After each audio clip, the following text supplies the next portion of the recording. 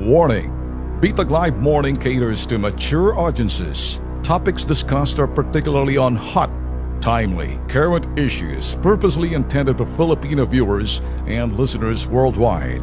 Discussions may contain language that may not be appropriate for some sensitive audiences. If you do not approve of the content listed above, please do not watch our videos. If you wish to continue, we strongly advise that you proceed with caution. Viewer maturity is advised. Ikaw naman, Wally Sombrero, kilala kita. Kaya lang dito sa akin sasabihin ko sa'yo. Ano bang papel mo? Ba't ka nanuhol? Sino bang pinagsisilbihan mo? Si Jack Lamp? Makapal naman ang mukha mo, Wally. I wish na mayroong mga nakikinig nito para ma maderecho sa iyo, Wally. And your kind of shameful act, ikaw yung go-between, ikaw yung broker para manuhol. Ito namang dalawang mga BI, mga BI, hindi lang naging PI, mga ewan. Yung mga corrupt na dalawang mga, eh, taga San Beda pa naman, pating eskwela, nadali. Magkakaklase sila, nandyan pa, na, na, na, na, natanggal na kaninang umaga lang ata. Lumabas ho sa mga online news na tinanggal na ho yung dalawang mga putok sa buho. Kung totoo man, kayo'y nasuhulan, tumanggap kayo, shame on you. Merong nanuhol dito eh. Merong nag-areglo rito, ikaw yun, Wally Sombrero. Dahil ikaw yung nanuhol, ikaw yung nag-abot ng bag, ikaw yung briber. Ngayon, kung sakaling nag-extort naman to sa iyo, makinig ka, Wally, pareho, magaling ka pa naman na pulis, sabi mo, intelligence ka, eh, ito, nakapatapat mo si Bitag. Kasi kung magaling ka talaga, Wally, saan ang ginawa mo dyan, eto, nag-bribe, nag- nag-bribe ka, nag-bribe ka. It takes two to tango. Sana, nagsumbong ka rin. Sana, sinabi mo diretso doon sa, sa, kay uh, Department of Justice Secretary. Secretary. Or, ipinaalam mo sa mga operatiba na may mangyayaring panunuhol pero i-entrap nyo. Hindi mo ginawa yun eh. You're a party to an evil act, a wicked act, Wally Sombrero. Kayo naman, putok sa buhong mga gus-gusing, uhugin, mga ewan, dinadala niyo pang pangalan ng San Beda Eskwela na yan, pati rin San Beda, nadudungisan at karamihan sa mga kabinete natin, mga taga San Beda graduate, classmate ni, ni, ni Digong. Mga pendehong putok sa buhong patay gutom din kayo pagdating sa sinasabing ano, pa, y- yung pera. Ang kakapal na mukha ninyo, tapos ngayon sasabihin ninyo, nagki-case build-up kayo para patunayan na may panunuhol. Sinong ginagago nyo? Mga lelo nyong panot? Palagay nyo sa mga Pilipino, stupido? Eh talagang tinanggap niyong suhol eh. Sinong nanunuhol?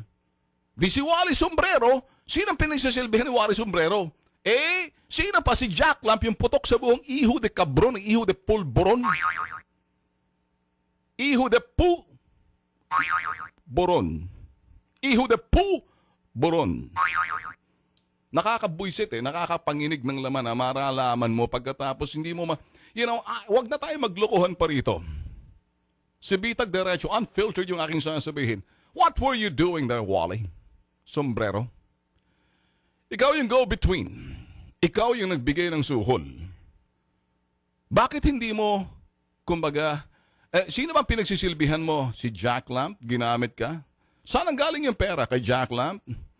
Tanong, sagutin mo lang to. Ba't mo ginawa yon at para suhulan? Nasilaw naman yung putok sa buhong mga patay gutang pendeho ng mga dalawang ah, immigration ah, ah, commissioners. Ano nangyari? Tinanggap din. Sinarapan. Pag sa uli, 30 na lang. Nasaan yung 20 million? Wala na. so, you get what I'm saying? So kung titingnan ho natin dito, ako hindi ako naniniwala doon sa sinasabi nito mga putok sa buhong mga pendeho rin, kabrong gusgusin at uhugin ng mga commissioners na mga kilala pa naman, appointed pa naman ni President Digong at pagkatapos tumanggap. How many days? Nanay sa inyo kamay, tapos isipin nyo, hindi, ginawa namin, nagka-case build-up kami para mapatunayan na may panunuhol. Iho de pulburon kayo. Na mo! Yan ang sabihin ko sa iyo. Gumising na kayo. Pukaw na mo! Yan ang sasabihin ko. Gising na kayo, Pilipino.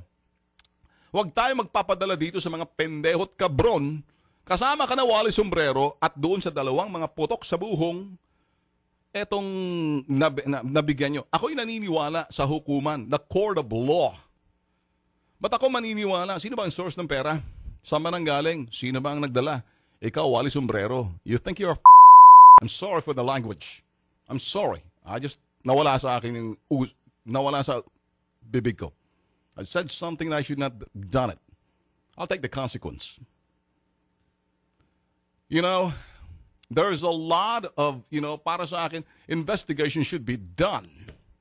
Right there's the immigration centers, detention center natin sa Taguig. This is a tip of an iceberg that investigation should be done. Top to bottom. No ifs, no buts. Undesirable alien. Yan hong nanggagaling yung pera dyan eh. At marami pa ho eh. Dapat yung immigration natin tingnan na maigi. Ah, abangan ho ang aking mga susunod na sasabihin dito.